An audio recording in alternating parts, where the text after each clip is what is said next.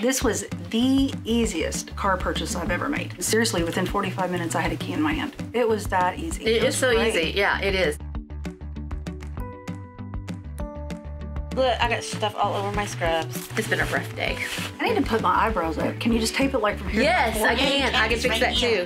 Who needs Botox? Put it away. Put it away. show Don't ya. you tape me. All right, you guys ready? Yeah. What are we supposed to do? My name is Cheryl. My name is Carissa. We're medical assistants. I'm from Poteau, Oklahoma. I'm from Kingfisher. And, we, got, the 2020 Rogue Sport. Hers is black and mine is white. Good and evil, Yes. clearly. I came in for an oil change and walked out of here with the new car. I'd been looking for three months for a new vehicle and I had done all kinds of research. I had actually looked at Automax, Car Gurus, Carvana. I had tried all three and I just didn't get that far with it. And when she got her Sport, I started looking into it and it was just, it's, it's exactly what I wanted. The gas mileage, I don't have to put hardly any gas in it. The gas mileage is fantastic. I, I drive an hour every day to work and home. I look forward to driving to work. I really love it. I You love look good in it. You it. look good in your new car. Thanks.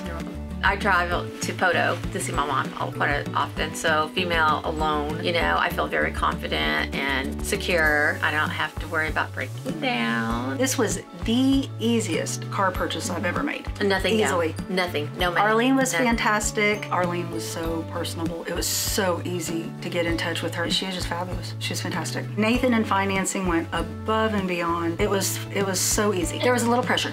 Arlene threatened me. Yeah. There were threats of bodily harm if I didn't purchase a vehicle from her.